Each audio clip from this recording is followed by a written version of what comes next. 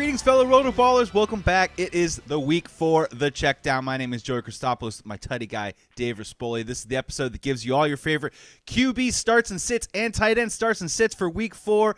Dave, in week three, we hit on Stafford, we hit on Cousins, we hit on Darnold, we hit on Andrews, we hit on Logan Thomas, we hit no on Jared Cook, and then Justin Fields, Dave.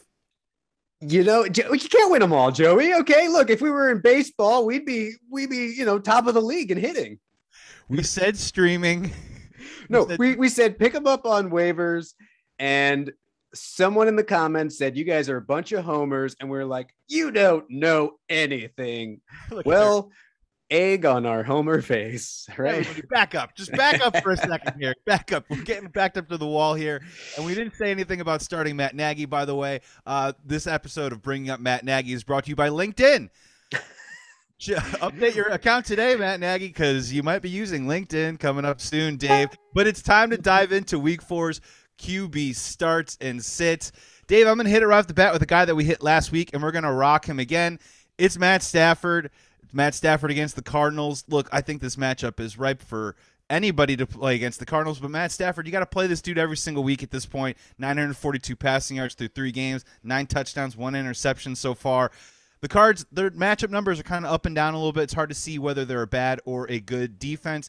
But Kirk Cousins ripped them up for 244 and three touchdowns in week two. So I'm rolling with Matt Stafford again. Dave, who do you got for your QB start this week in week four? We haven't seen tonight's game. So, again, time stamping this. It is Monday morning. We are trying to get this in early for you, Sean. And uh, I'm going to go with Jalen Hurts. Barring anything crazy happening tonight in tonight's game, this could look totally ridiculous or could look genius, either one. But he's playing the Chiefs look at look, I say look at what Lamar did to the Chiefs. Rush for 107 and two tutties, threw for 239 and one. Now I'm not saying Jalen Hurts is Lamar Jackson, but it's clearly that they this is a team that struggles with the mobile quarterback. We'll see what he does tonight. But if the Eagles can escape healthy, I'm starting Jalen Hurts versus the Chiefs. I think it's a good call, regardless of what he does against Dallas tonight, as long as he has two legs and two arms and a head on top of his shoulders next week against a KC defense that struggled all year. I like that move a whole lot. Moving on to my next QB start, I'm going to go with Baker Mayfield versus Minnesota. And here's the deal, you know, Baker maybe hasn't necessarily lit up the fantasy world, but I do like him as a start this week because the Minnesota Vikings have allowed 261, 400, and 298 passing yards to their first three QBs, six passing, one rushing. Cleveland Browns, courtesy of the Chicago Bears, are feeling pretty good this week, heading into next week. Baker Mayfield one more week with Odell Beckham in the mix. Maybe that passing game gets going a little bit more. Austin Hooper got involved too as well. I like Baker Mayfield as a start, Dave. Yeah, and look, Baker Mayfield has suddenly become a staple of the show, both good and bad, right? Week one, we said he was a start, panned out. Week two, we said he was a sit, pretty much panned out. So, uh, you know, Baker, welcome to the check down, my man. This week, you're a start for us. I love the call, Joe. Odell Beckham looked pretty darn good. He might be back to his old self. Who needs Jarvis Landry when you have Odell Beckham still and tons of other receiving options? And Minnesota has given the opposing quarterback their best performance of the year, both in Burrow and Kyler Murray. So I'm expecting maybe the best performance of Baker Mayfield's year so far in week four. And Dave, remember, Baker came to us as an actor first. That's right. He came to us as a theater actor first on the stage, cutting his teeth, and now he's a fantasy player and performer, and we're so proud to have him on the check down in week four. Dave, uh, it might be time to move over to our sits, QB sits. You want to go first, my friend? Who do you got as your QB sit in week four? Yeah, this one's a slam dunk for me. Daniel Jones was never believing the hype. Still don't believe the hype. He fooled you into thinking he was good at fantasy football because of his huge rushing days in week one and week two.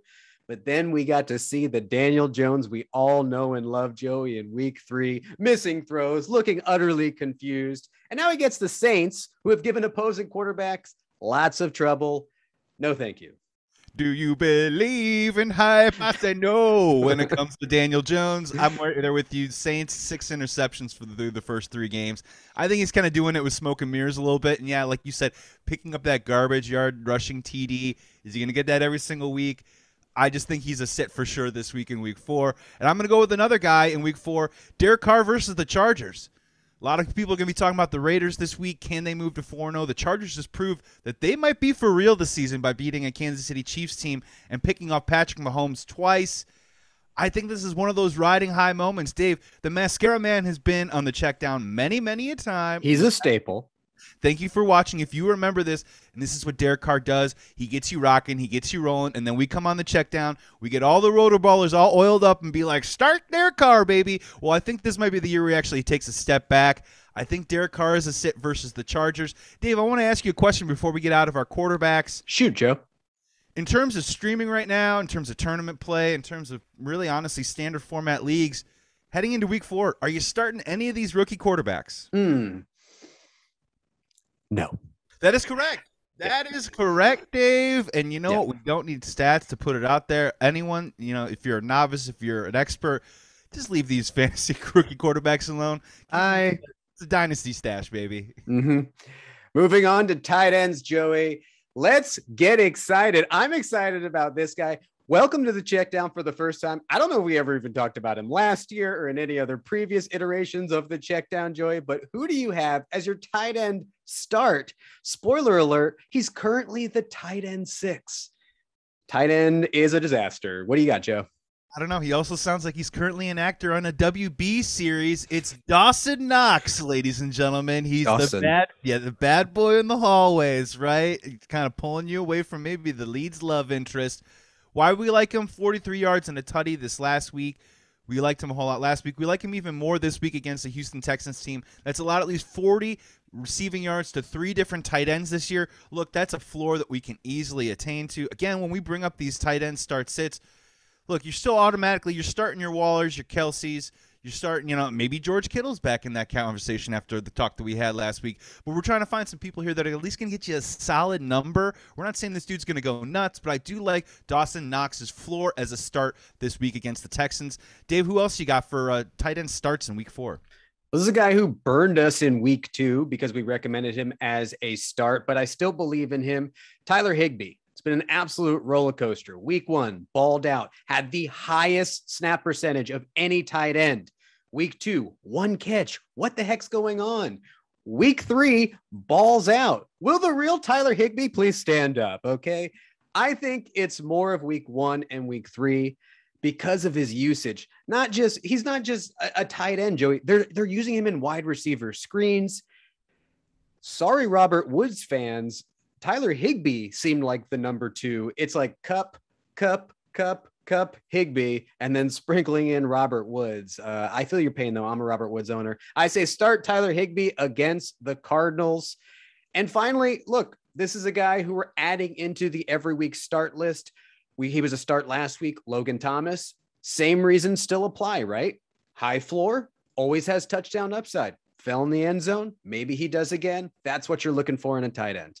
And as the beautiful leaves fall off the tree and we head into autumn, we get the chance to say here on the check down, the Atlanta Falcons defense sucks. They do. It's They so bad. It's so bad. And we're going to be hammering that in the weeks to come. You guys just keep an eye out there, especially maybe in another boom and bust video that we're going to be doing for Rotoballer this week. Make sure you check that out. And just my final point on Higbee with you, real quick.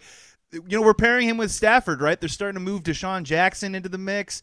You know, you got Kupp, you got Woods. They're really starting to kind of like bring out the entire dining set, if you will, of all the different toys that he can play with. So that puts Higbee right in there. Dave, it's time for QB uh, tight end sits here. This has been our uh, our most favorite uncomfortable segment that we could possibly do because it's just it's it continues to be so bad, Dave. And then you know people are asking us a lot of these wonderful, beautiful comments and questions below. We're trying to do the best we can to find these tight end starts and sits, but there's just so many sits out there. It's it's intense. Yeah, we, we won't make Sean run the list again. Watch previous episodes. There's a lot of names on that list. This next tight end, Joe, is a guy who finished this week as the tight end one, not a tight end one, Joey. Hashtag tight ends are the worst. This guy finished as the number one overall tight end, and yet you're telling the people to sit him? Why, Joey?